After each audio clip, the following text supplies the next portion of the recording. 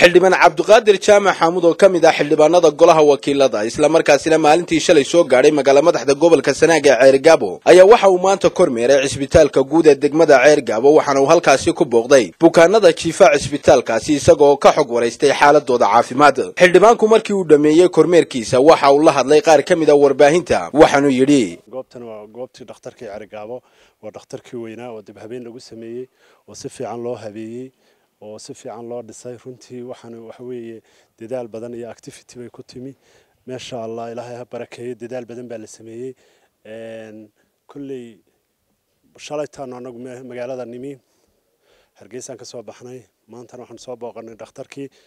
Insha allah dadkii xanuunsanayay wixii oo dhan waan soo aragnay allaha caafiyo xanuunka ilaahay baa keena laakiin ilaahay baan nuu baryanaa in ilaahay caafiyo. Dadaalka ay xukuumadda iyo xisbigeedu wadaana ilaahay inuu barakeeyo dee waad arkaysaan wadooyinkii dhakhtarkii caafimaadka wixii ay samaynayeen oo dhan. Dee indhahun baa ujeeda runtii waxaasina waa dadaal.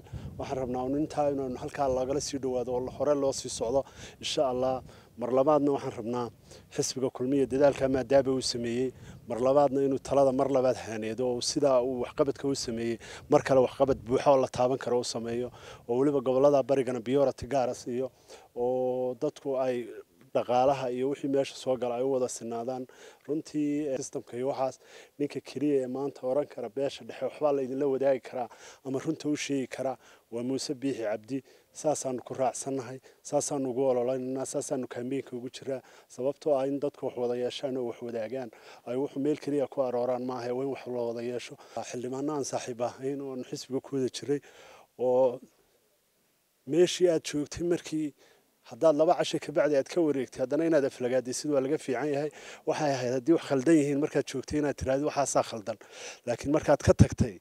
هاي ذو حمام ما ترتو عينا حمام سو صار سو لكن ده كوا عضية واسكت الشذا ووحي أي أركي وعضية بمهمة عبد الرحمن أحمد الشريستار تي في. مقالة ده عرقا